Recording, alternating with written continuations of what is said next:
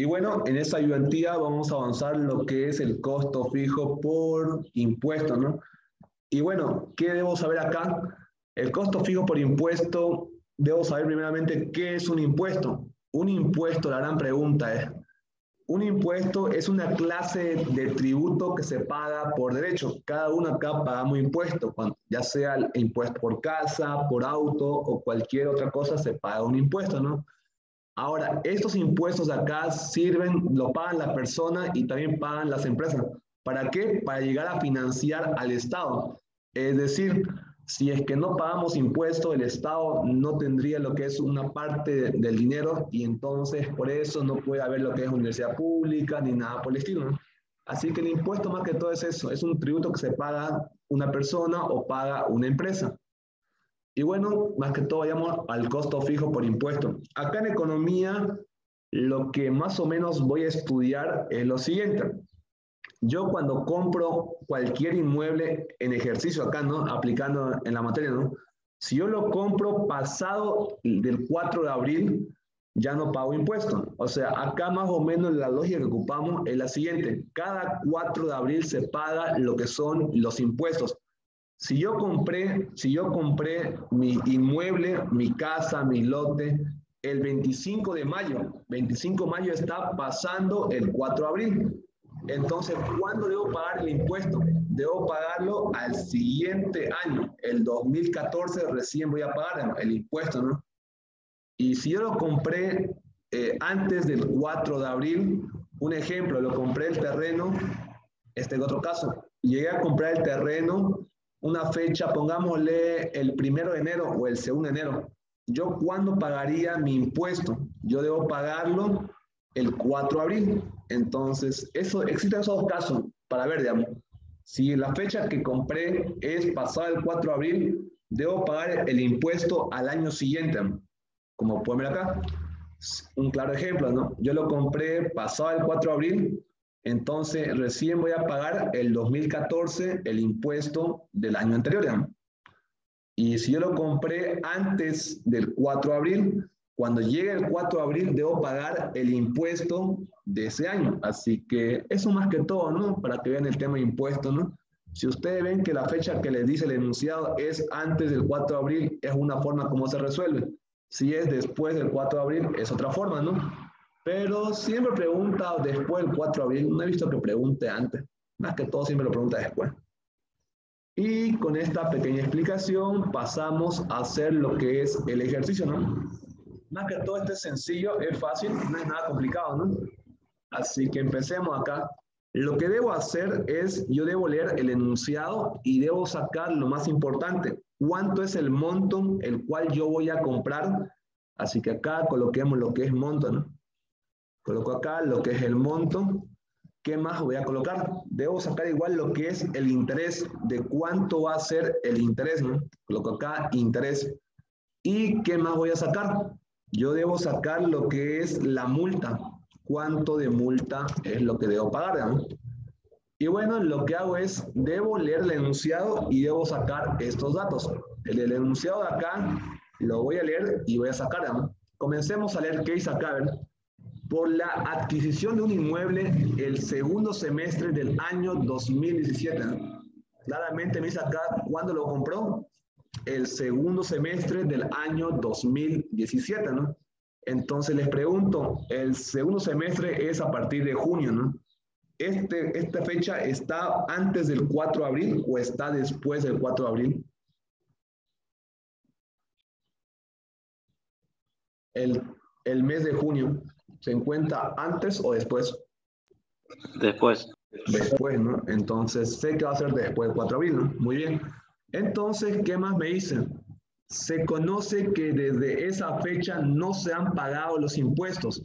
Ah, yo sé que después del 4 de abril no se pagó los impuestos. Muy bien. Entonces, el último impuesto que fue acá fue el año del segundo semestre del año 2017, ¿no? ¿Y de cuánto ser el monto? Si voy leyendo. Me dice acá que el monto es de 650 bolivianos. Entonces, este va a ser el monto, ¿no? Coloquemos este monto de acá. ¿Y de cuánto va a ser el interés? El interés va a ser del 2%. Entonces, esto voy a colocarlo con color verde lechuga. ¿Y de cuánto va a ser la multa? Una multa de 60 bolivianos. Perfecto. Entonces, ¿qué es lo que hago ahora? Lo que hago es, ya le he anunciado, voy a colocar en la parte de acá lo que es el monto. ¿El monto de cuánto es? 650 bolivianos. Perfecto. Este sería el monto el cual yo estoy comprando el inmueble. ¿Qué más debo saber? El interés. ¿De cuánto va a ser el interés? Es del 2%. Entonces acá coloco el 2%. Ahora, ¿de cuánto va a ser la multa? La multa va a ser de 60 bolivianos. Y lo que hago ahora, una vez tengo todo esto, hago un pequeño cuadro. En el cuadro debo poner lo que es acá el año, la gestión, el cual yo voy a pagar, el monto, el interés, la multa y el total, ¿no? Entonces, empecemos. ¿Qué es lo que coloco acá? El año. Como pueden ver, yo compré la fecha pasado el 4 de abril. Entonces, ¿cuándo debo pagar mi impuesto ahora? Debo pagar mi impuesto al año siguiente. Entonces, ¿qué es lo que hago acá? Acá coloco el año 2018. Yo voy a pagar el impuesto, pero ¿de qué, de qué gestión? Voy a pagar el impuesto de la gestión 2017. Entonces, esto acá, si quieren decirlo, le pongo una flecha y a partir de ahora comienzan hasta llevarlo hasta el año que estamos actualmente. Colocamos acá 2018, 2019, 2020 y 2021. Entonces, ¿qué es lo que digo? El año 2022, es decir, el 4 de abril de este año, yo voy a pagar mi impuesto de la gestión anterior. Coloco acá año 2022. Y como pueden ver, es de manera mecánica, netamente mecánico, no es nada complicado, ¿no? ¿Qué es lo que hago ahora? Coloco en este cuadro lo que es el monto. En el tema del monto, ¿qué voy a colocar en esta parte acá? ¿De cuánto era el monto? 650 bolivianos. Coloco acá 650, 650, 650, 650 y 650. Ahora, en el tema del interés, ¿qué voy a colocar en esta parte de acá? Si ustedes han fijado su formulario, a ver, veamos acá, mm, ¿dónde está? No, Economía General, semestre 1, 2022, costos. Mm, bueno, si ustedes han fijado su formulario, les puse una otra fórmula, ¿no? No lo pide el formulario. Examen. Bueno, en teoría hay una forma, acá está, formulario cosa. Y no sé, esto no. Ya, este formulario de acá, como pueden ver, están todos los tipos de costos, ¿no? En el tema de la parte de acá, del costo fijo por eh, impuesto, siempre debo hacer este pequeño cuadro que dice año, gestión, monto, interés, multa total. ¿Y cuál es la fórmula del interés? Es esta pequeña formulita acá, ¿no? Entonces, esta fórmula la voy a copiar en la parte de acá. Ya, esta es la fórmula que ocupo siempre en el interés, ¿no? Entonces la fórmula la coloco más o menos por acá. Y bueno, ¿qué es lo que hago? Hago lo mismo. Acá lo que voy a hacer es esto, voy a copiarlo, lo coloco en la parte de acá. Y lo que cambia acá son netamente esto.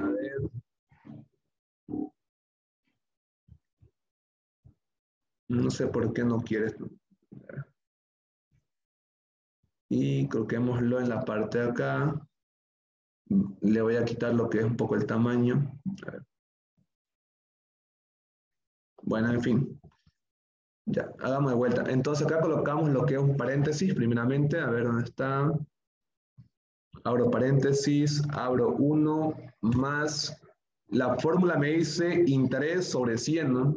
Coloco acá lo que es esto. ¿De cuánto va a ser acá lo que es el interés? El interés es de 2%. Coloco 2 sobre 100. Cierro el paréntesis. Y ahora me dice elevado a los años de la deuda. Entonces lo que hago acá es esto. Voy a elevar. Y perfecto. Todo esto acá lo vamos a copiar. Lo vamos a colocar en esta parte de acá. Y ahora lo borramos, borramos, esto, borrar, borrar. Perfecto.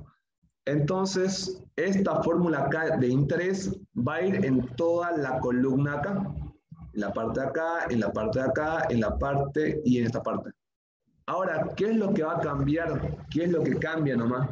Lo único que cambia son los años de la deuda. Ahora, en el año 2021, en este año acá, perdón, año 2022, ¿qué es lo que hago? En el año 2022 se supone, se supone que no debo ni un año, que estoy pagando, es decir, estoy pagando lo que es al tope. Cuando me toca pagar, estoy pagando. Entonces, de manera mecánica, lo que se hace es al último, al año 2022, se coloca lo que es el número cero, porque no existe ni un año de deuda. Y de abajo se pone hacia arriba. Acá coloco cero, acá coloco lo que es 1, arriba coloco lo que es el número 2, arriba acá coloco el 3 y acá coloco lo que es el 4. En teoría son los años de la deuda que tienen. Como pueden ver, del 2022 acá al 2021 son un año. No sé si puedo representarlo. A ver dónde está esquema. Ya. Como pueden ver, de acá acá es un año de deuda. De este punto a este punto serían dos años de la deuda. Ahora, de acá hasta acá son tres años de deuda. Por eso lo que tres. De acá a acá, ¿cuántos son? Son cuatro años de deuda. En teoría, de manera mecánica, siempre ustedes al último le colocan un cero y comienzan subiendo uno en uno. Cero, uno, dos, tres, cuatro. Y esto puede tener, no sé, cinco o seis, depende, depende del enunciado, ¿no?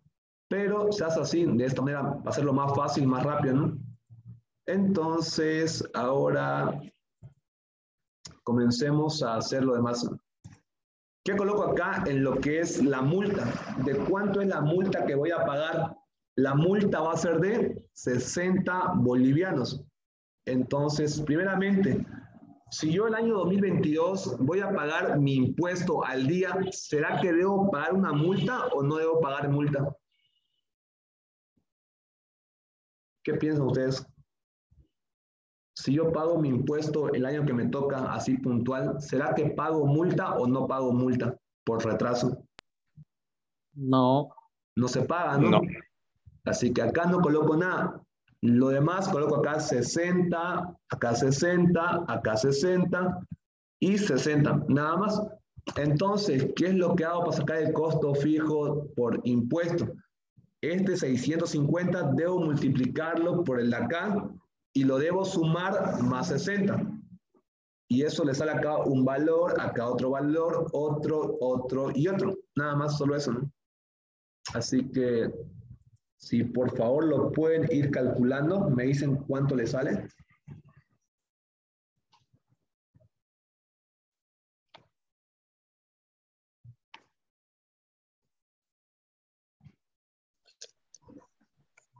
El del 2017 saldría 61,08.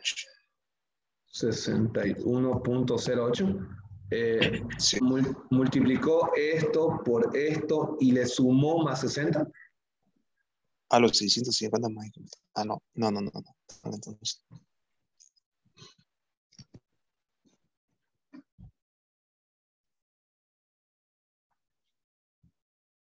Por favor, si pueden calcular lo demás también. Como pueden ver, es fácil. En teoría, este costo es el más fácil que exista, ¿no? Porque siempre es lo mismo, ¿no? Hacen su cuadrito, sacan del enunciado el monto, interés y la multa y nada más, reemplazan, multiplican, suman. Sí. 63.58. 58, perfecto. Al de acá, por favor. 700. Ah, 700. Muy bien. Acá, por favor, ¿cuánto le sale? 749,78. Muy bien. Acá, por favor, si lo pueden calcular.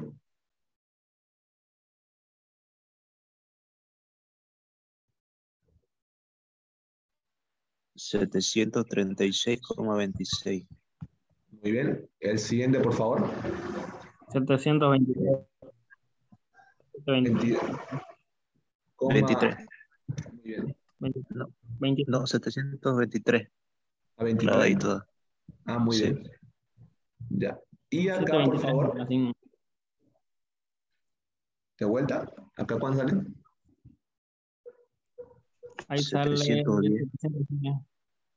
710. Por si acaso no es 60, acá no deben sumarle nada.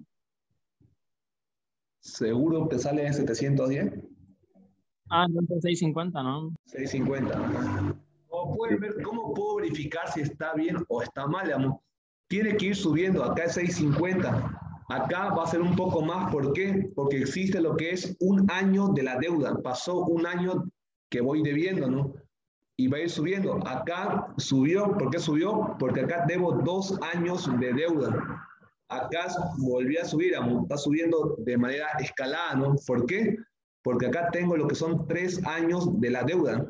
Y así, en la parte de acá va a subir porque tengo cuatro años de deuda, nada más. Entonces, ¿qué es lo que hago acá? Voy a sumar lo que es toda esta columna y cuando sumo toda la columna, acá ¿qué voy a tener? Acá tengo lo que es el costo fijo por inmueble. Si lo pueden sumar, por favor, ¿cuánto le sale acá? Sumen toda la columna de eso. Irwin, una preguntita. ¿Sí? En este caso, el monto de la deuda este, no varía en, en todas esas gestiones, pero en caso variara. Porque No, nu- según- nunca varía. Bueno, bueno, para la materia nunca varía. O sea, acá en la materia para economía general no, no, no varía. Es un dato que te da y ese dato siempre es constante. Ahora, en la vida real no, pues no, en la vida real nunca es constante, no siempre varía por el tema que sube o baja, ¿no? Pero acá, acá no, acá nunca varía. Acá Ah, ya, ya, ah, ya. Por favor, si lo pueden sumar esa columna. Y como pueden ver, es sencillo. O sea, este costo es el más sencillo porque solamente se ocupa un cuadrito y netamente es sacar, sacar, sacar. ¿Y cuál es el problema de este tipo de costo que he visto el semestre pasado? ¿no? El problema que tienen mayormente son los siguientes. Meten mal a la, calculadora y sacan acá otro resultado. Y la Inge lo que hace, más que todo, primeramente, es revisar el resultado. Ella revisa este resultado acá, digamos. Y si eso no le sale más o menos aproximado lo que se tiene ella, es porque se han equivocado en alguna parte de acá y por tanto está mal, ¿no? Así que ya no, no revisan, te pone mal, ¿no? Es un poco en ese tema ser un poco bien precavido con la calculadora, ¿no? ¿Cuánto le sale ahí, por favor? Sale 3.622,62. Ya 3.622,62, ¿no? Sí. Entonces, ¿qué es lo que tengo acá? Este sería mi costo fijo. a ver. Y acá coloquemos mm, esta fórmula. El costo fijo por inmueble, el costo fijo por, perdón, por ese tipo de costos sería lo siguiente. No sé por qué no quiere esto. Ya esto, copiémoslo acá y acá colocamos lo que es costo fijo por impuesto, ¿no? Mm, A ver, ¿dónde está? Esto lo borro. Perfecto. Colocamos acá que el costo fijo por impuesto es de un valor. ¿De cuánto va a ser? 1.622,62 bolivianos. Entonces, hasta acá, esto es costo fijo por impuesto. No es nada más, solamente es este cuadrito y nada más, ¿no? En caso que sea antes del 4 de abril, ¿no? En caso que fuera acá, un ejemplo, me dice acá la fecha, me dice, este, se compró el inmueble el primero de enero del año 2017. ¿Qué es lo que hago acá? Coloco acá lo que es año 2017 y coloco acá gestión 2016, nada más. Y van a ir avanzando tal cual el cuadro. Solo eso no es el tema, por el tema de... Pero este caso no se pregunta, más que todo es así, ¿no? Entonces, hasta acá, ¿alguna pregunta que tengan? ¿Alguna duda? Como pueden ver, es fácil esto. Y Ese último siempre va a estar elevado a cero. Siempre. O sea, tampoco si quieres no lo puede elevar, ¿no? Porque en teoría, todo número elevado a cero, ¿cuánto es? Es uno, ¿no? Y cuando es uno multiplicado a un monto, sale el monto. Así que por eso sale acá siempre el mismo. Ahora, si ustedes sale acá diferente, es que está mal, está mal su calculadora o algo, ¿no? Pero es así. ¿Está todo claro esta parte? ¿Alguien se perdió? Una ¿Alguien- preguntita. Sí. Siempre es hasta la gestión presente. ¿no? Siempre hasta Ajá. la gestión presente. Sí, ¿por qué? En caso, en caso de que el enunciado nos diga, digamos, está, la presión está gestión presente y estamos en el 2018. digamos. O hasta el 2018. Mm, ya, te puede ese caso que te diga el enunciado, ¿no? Eh, calcular, Mm, casi no, te cuento. Te cuento que siempre la, la gestión presente pues, es como un costo fijo por inmueble, siempre calculás hasta el año que estamos actualmente, ¿no? Así que si es que en un caso te dice hasta cierto año lo calculás, pero te comento que el tema que hoy siendo auxiliar nunca vi ese caso, ¿no? Siempre te hasta el año que estamos actualmente. Sería muy raro que Ah, pregunte hasta cierto año, ¿no? Pero no, ya. De No, todas no maneras, el mismo procedimiento. Ajá, es el mismo procedimiento. Aunque no, no sé, no cuadra, pero ya, ya. No, no creo. Más que todo eso. ¿no? Sí, es raro que también ocupe del mismo monto y el mismo interés en todos los años. Ajá, o sea, el interés sigue el mismo. Se repite el- igual que acá el monto, solo que cambien los años de deuda. ¿no? Este cosito acá lo único que va a cambiar. Apréndanlo así. Y si algún caso les pone algo raro, ustedes le dicen, ingeniera, el auxiliar no me enseñó eso. Y yo le digo, ingeniero, no avanzamos eso por tal motivo, así que ya vean, pero no creo que pregunte algo raro, porque siempre haya preguntado lo que se avanza en ayudantía, porque ella nos pide lo que avanzamos nosotros y en base a eso hay que preguntar lo que no. Así que no creo, la verdad, que les pregunte otra cosa, ¿no? Pero igual, de todas maneras, vamos a hacer en los modelos, es similar a esto, solamente que en un modelo dice es el 2% del costo anterior, ¿no? Así que eso lo vemos la próxima ayudantía, cuando hagamos un modelo completo, ¿no? Pero hasta acá, ¿alguna pregunta? ¿Se entendió cómo se hizo el cuadro? No sé, ¿alguien se perdió en algo? ¿Alguien quiere que lo explique de vuelta? No sé. ¿Está claro?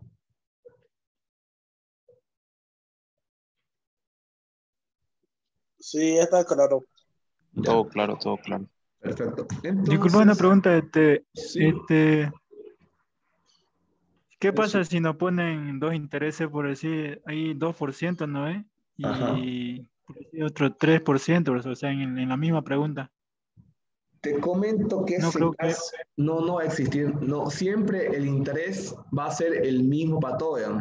Siempre. O sea, no, no puede decirte acá interés 2%, guion 3%, o te dice y 3%, ¿no? Ese caso no existe. Siempre te va a dar un interés, un solo interés, un solo Ah, monto y una sola multa. Siempre, siempre. Por ahí, desde el 2017 hasta el 19, 2%, y de ahí para adelante en 3. Puede ser. Puede ser, pero Pero, no. Acá en la materia no. Ya no digamos. es. De En la vida real puede ser. Acá no. Ya. Pero bueno, entonces, en base a eso, hagamos lo siguiente. Vamos a hacer lo que es costos variados y la utilidad, ¿no?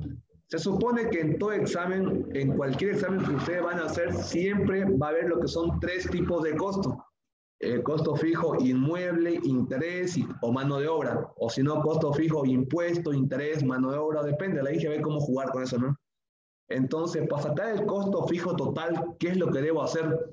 Yo debo sumar todos los costos que tengo, lo voy a sumar y así voy a sacar lo que es el famoso costo total. digamos. Este caso acá me, le puse un ejemplo. Le puse acá, no sé, un costo fijo por in- inmueble, un costo fijo por interés y un mano de obra. ¿no? Es un, algo imaginario, no, no se calculamos. ¿no? Pero ¿cómo calcula el costo fijo total? digamos?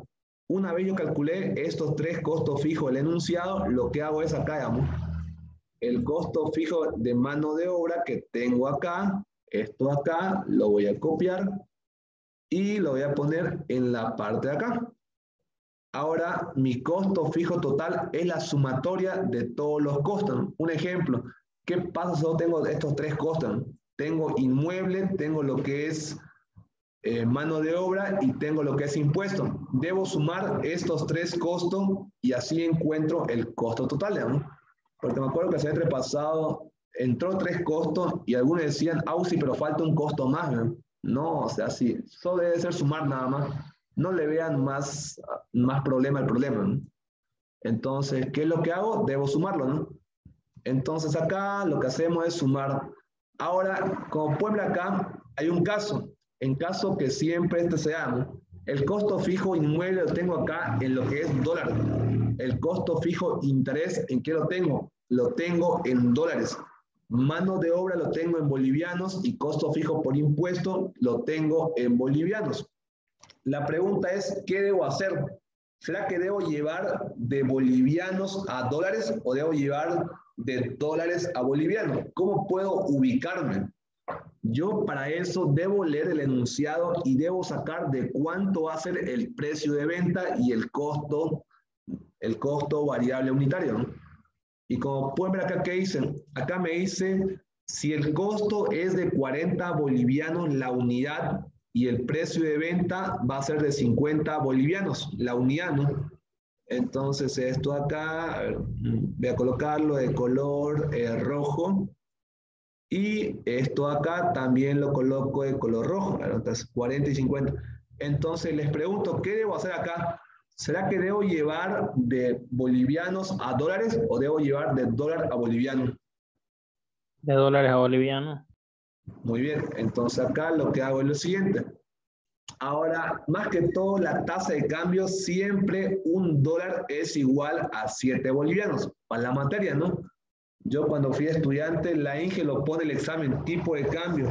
O si es que no le pone, usted le pregunta, ingeniera, el tipo de cambio, ¿cuánto es? Pero siempre ella dice 7 bolivianos.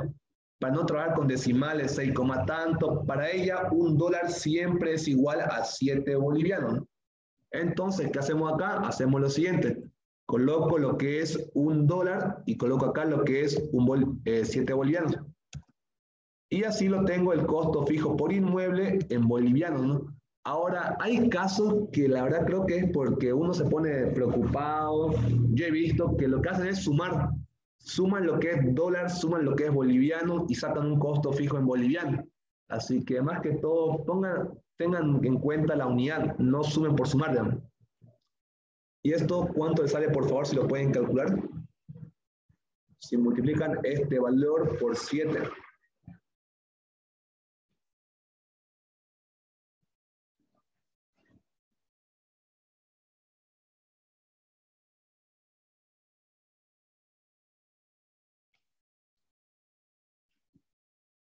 Mm, ¿Ya lo sacaron?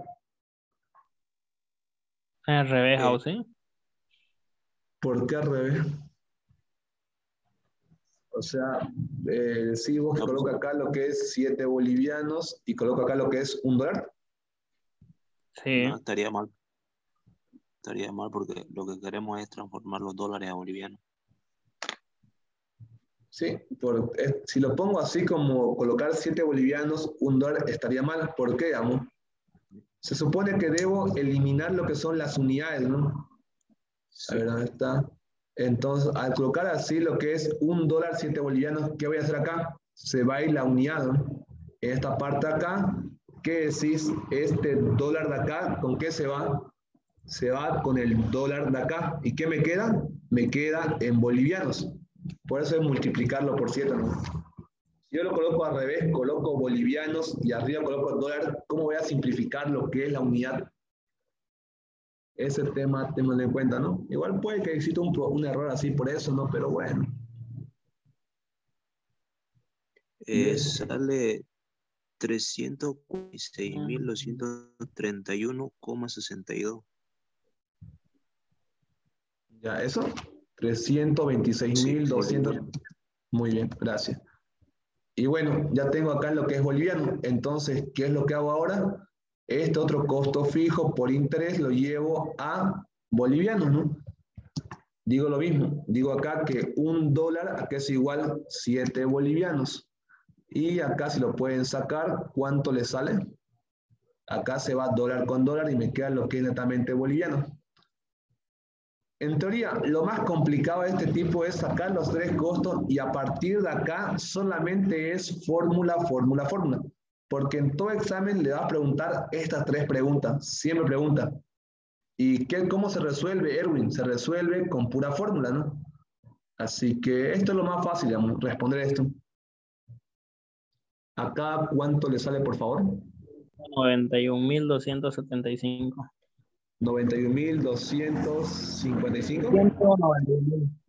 191 mil. Ya, 191 mil. ¿Qué más? 275. 275. Muy bien. Ya, gracias. Esto es bolivianos. Y ahora, como pueden ver, recién puedo sumar lo que es bolivianos, bolivianos, bolivianos y bolivianos. Recién ahora, ¿no? Entonces, ¿qué es lo que hago? Acá lo que hago es sumar. ¿Cuánto voy a sumar? Acá sumo el monto acá, que era 326.231,62. Esto acá lo voy a sumar, digo acá, más este otro valor, digamos. Y ahora acá lo voy a sumar más el siguiente valor. digamos. En teoría, solamente ustedes sumen nada más, no, no le busquen más, no sé, más problema. Solo suman, si tienen dos costos, suman los dos. Si tienen tres, suman tres. Si tienen cuatro, suman cuatro, ¿no? Pero siempre son tres tipos de costos, ¿no? Eso. Y una vez que yo lo sumé, lo que saco acá es el costo fijo total, que es la sumatoria de todos los costos fijos. Esto acá, ¿cuánto le sale, por favor?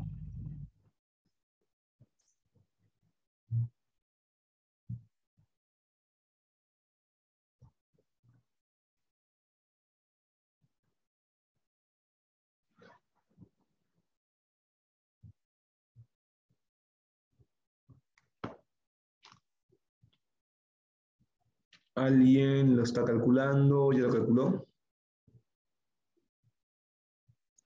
Eh, me sale 692.716,34.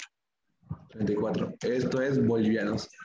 Y como bien. pueden ver, así obtengo lo que es el costo fijo total, nada más.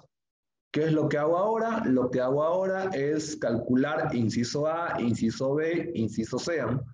Ahora, siempre el costo fijo, el costo variable unitario y el precio de venta siempre se lo va a dar, ¿no? Algún caso, un examen vi que decía el costo, el costo variable de producción o unitario es de 4 bolivianos y el precio de venta es 10% más, digamos. o sea, era 4 mul- bolivianos multiplicarlo por 1.10, ¿no? O si no decía, es 15% más que el costo, ¿no? así, digamos, cosa que se puede jugar, ¿no? Con palabras, ¿no? Pero siempre te da de dato estos dos valores de acá. Entonces, ¿cómo respondemos el inciso A, B, C? Para eso lo que hacemos es ir al formulario. En el formulario que, que tengo acá, les preparé la fórmula, ¿no? ¿Cuál es la fórmula? La fórmula, siempre que quiera encontrar la cantidad de equilibrio, siempre que quiera encontrar, debo ocupar esta formulita acá para cantidad de equilibrio. ¿no? Entonces, en la parte de acá, ¿qué es lo que hago? Coloco lo que es la fórmula en esta parte y lo que hago es reemplazar los datos, nada más. Entonces, ¿qué digo acá? Esto es igual, primeramente, costo fijo total. ¿De cuánto va a ser acá el costo fijo total? Si yo veo, el costo fijo total va a ser de un valor de 692.716,34. Este costo lo voy a copiar y lo coloco en la parte de acá. Ahora, el precio de venta, ¿de cuánto es? El precio de venta va a ser de un valor de, ¿dónde está precio de venta? 50 bolivianos. Entonces, esto acá, el 50, lo coloco en esta parte acá, menos el costo. ¿De cuánto es el costo de producción? O el costo variable, el costo es de 40. Claramente acá dice el costo de 40, si quieren verlo así. Y acá dice el precio de venta es de 50. Bueno, entonces, ¿qué es lo que hacemos? Coloco acá lo que es 40. Coloco 40, entonces abro acá lo que son paréntesis y coloco la unidad, esto que es igual, ya. Esto es igual a bolivianos sobre unidad. Coloco bolivianos sobre unidad. Entonces, acá, si ustedes por favor metan su calculadora, ¿esto cuánto le sale? En decimales, ¿no? Con decimales. Eh, 69.271,63. 63. Muy bien, eso sería unidades, ¿no? Entonces, para el tema acá, siempre que hagamos cantidad de equilibrio, no existe en economía lo que son cantidades a la mitad. Ejemplo, no existe 1,5 teléfonos, no existe 2,8 calculadoras, no existe 3,5 eh, 3,5 computadoras. Siempre existe cantidades enteras. Entonces, ¿qué es lo que hago? No se debe redondear. Siempre se lleva al inmediato superior.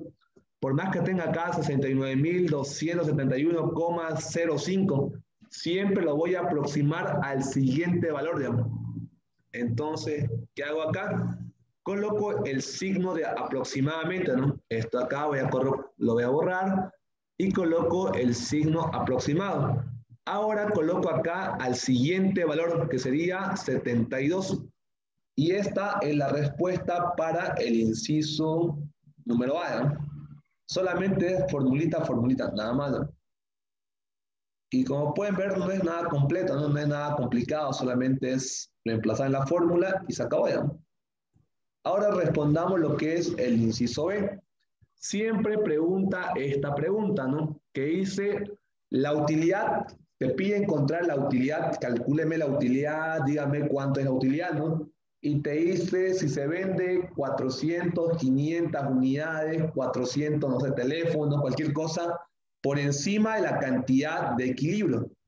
Entonces, siempre que ustedes les piden encontrar lo que es utilidad, ustedes vean que dice calcular utilidad y aparte le está dando lo que es una cantidad por encima del punto de equilibrio o una cantidad cualquiera, ¿qué es lo que hago acá? Voy a ocupar lo que es el formulario. Dentro del formulario, ¿qué es lo que tengo acá? Tengo que la utilidad es igual al margen de contribución multiplicado por las unidades extras. ¿no? Entonces, debo hacer en esta fórmula. Esta fórmula la voy a copiar y la coloco acá. Ahora, la gran pregunta que tengo es, ¿qué es el margen de contribución? ¿Cómo encuentro el margen de contribución? No lo tengo, ¿no? Ahora, el margen de contribución solamente es la diferencia entre el precio de venta menos el costo variable unitario. Claramente se los puse en la fórmula acá. Margen de contribución, precio de venta menos costo variable unitario, ¿no? Entonces, lo que hago acá es colocar esto acá, margen de contribución, y reemplazamos los datos, ¿no? Empezamos a reemplazar, a ver, esto ¿De cuánto es el precio de venta? El precio de venta era de 50 bolivianos, menos de cuánto es el costo, 40 bolivianos. Entonces, ¿de cuánto es el margen de contribución? 10. De 10, ¿no? Sería 10 bolivianos sobre unidad, ¿no? Entonces, esto lo coloco acá. Y bueno, tengo que el margen de contribución va a ser 10 bolivianos la unidad lo que hago es reemplazar en esta formulita y no hay nada más, ¿no? Margen de contribución, ¿cuánto? 10 bolivianos la unidad, perfecto. Reemplazo en esta parte de acá, multiplicado por las unidades extras. ¿De cuánto es la unidad extra? Si veo acá, siempre elevar la unidad, ¿no? 400 unidades por encima del punto de equilibrio. Entonces, acá que se va, acá se va lo que es unidades con unidad. ¿Y qué me queda? Me queda lo que son bolivianos. Y así obtengo lo que es la utilidad, ¿no? ¿Y esto cuánto le sale, por favor? 4.000. 4.000, ¿no? Muy bien. Entonces, esto es 4.000 bolivianos. Como pueden ver acá, está sencillo. ¿Alguna pregunta, alguna duda? Más que todo es solamente fórmula, nada más. No creo. Hasta acá se va entendiendo, ¿se entendió? ¿Alguien se perdió?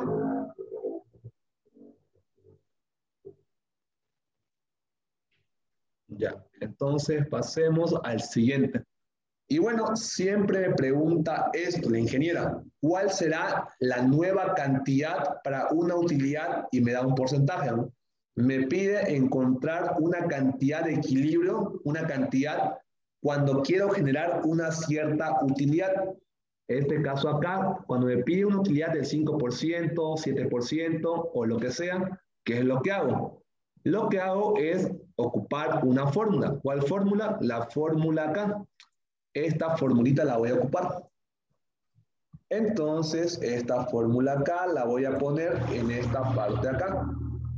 Muy bien, entonces, ¿qué es lo que hago ahora? Lo que hago ahora es, debo calcular el porcentaje. Claramente, acá tengo en porcentaje, ¿no? este porcentaje debo llevarlo a lo que es un número en, en entero, no, no en porcentaje. Entonces, ¿cómo saco acá el 5%? ¿Cómo le encuentro el 5% pero en, en número? ¿Cómo sería eso? La manera como sería eso sería la siguiente, más o menos. A ver, esto acá es 0.05, ¿no? Si ustedes colocan acá 5 sobre 100, ¿eso a cuánto le sale? 0.05. 0.5, ¿no? 0,05. Eso sale. Entonces, ¿qué es lo que voy a hacer acá? Yo digo lo siguiente, a ver, esto donde está lo que es este porcentaje, coloco una flecha hasta acá y es igual a 0.05. Solamente eso, nada. ¿Por qué les digo eso? El anterior semestre, o cuando yo fui auxiliar por primera vez, la INGE colocó acá un ejemplo, le colocó 7,5, ¿no? Y muchos pelados decían, Auxi, ¿cómo sería eso? ¿Cómo saco ese número? Solamente a ese valor que les da, lo van a dividir entre 100 y les sale acá lo que es el, la utilidad en número, nada más, ¿no? Y una vez tengo eso, reemplazo en la formulita y se acabó el problema. A ver, esto acá lo voy a colocar de color rojo. Y ahora reemplacemos nada más. En el tema acá, 1 más la utilidad. Esta utilidad, si yo acá coloco lo que es 5, está mal. Debo colocarlo la utilidad, pero en números. Sería el 0.05. Nada más. Acá lo mismo, de cuánto acá es el costo fijo total. Y bueno, un momento por favor, esto acá lo voy a copiar. Y ahora, ya, toda esta parte, control C, y ahora control V, ya. A esto le voy a multiplicar, ¿qué cosa? El costo fijo total. ¿Y cuánto es el costo fijo total? Es solamente la sumatoria de todos los costos fijos que tengo nada más. Entonces, esto acá voy a colocarlo en esta parte. Ahora, ¿qué es lo que hago? El precio de venta, ¿de cuánto hace el precio de venta? Es de 50 bolivianos la unidad, ¿no? Coloquemos acá 50 bolivianos, si quieren verlo así. 50 bolivianos la unidad. Y acá en la utilidad, ¿qué coloco? El porcentaje. ¿De cuánto hace acá? 0.05. Y coloco acá el costo variable unitario. ¿Y esto de cuánto va a ser? Esto, esto acá voy a copiarlo, lo coloco en esta parte de acá. Y acá coloco de cuánto es el costo. El costo era de 40 bolivianos la unidad. Entonces, esto acá lo coloco en esta parte de acá. Y ahora lo siguiente, acá se va bolivianos con bolivianos. ¿Y qué me queda? Me queda unidades. Este boliviano se va a ir con los bolivianos de acá y con los bolivianos que sería en la parte de acá. Ahora, por favor, si ustedes lo pueden calcular de cuánto sale su cantidad o su nueva cantidad de equilibrio.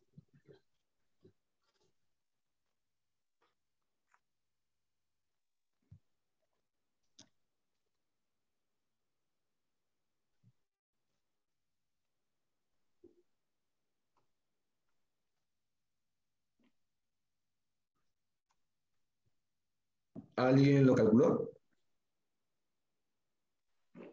Eh, me sale 90.919,02. ¿01 o 02? 01, sí. Ya, perfecto. Eso ya unidades, ¿no? Entonces, ¿qué dijimos acá? En economía, Oye, ¿sí? Este, allá donde es costo fijo total es coma 74. Esos Son decimales, pero por si acaso. Ya.